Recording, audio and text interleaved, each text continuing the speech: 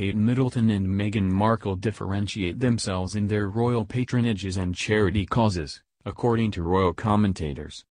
Kate Middleton and Meghan Markle have been the subjects of speculation of a royal rift as the Cambridge and Sussex families prepare to separate their royal residences.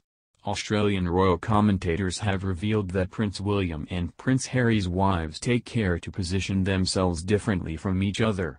Royals podcast hosts Rebecca Hyde and Angela Mollard explain how there has to be differentiation between the duchesses. Ems Mollard says that going forward into 2019, Kate, wants more responsibility, and she also wants to heal this rift with Meghan. She also doesn't want to step on anyone's toes. She explained, one of her areas that she's particularly interested in is early childhood. She is obviously a natural mother in the way that we saw with Princess Diana and that fits perfectly with her role. Whereas Meghan is much more interested in women internationally and women's rights. Ems Mollard continued, there has to be some distinction between the work that Meghan does and the work that Kate does.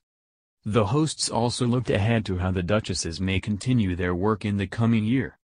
Ems Mollard added that, if we don't see them coming together in their charity work in 2019 it indicates very much that there has been a falling out.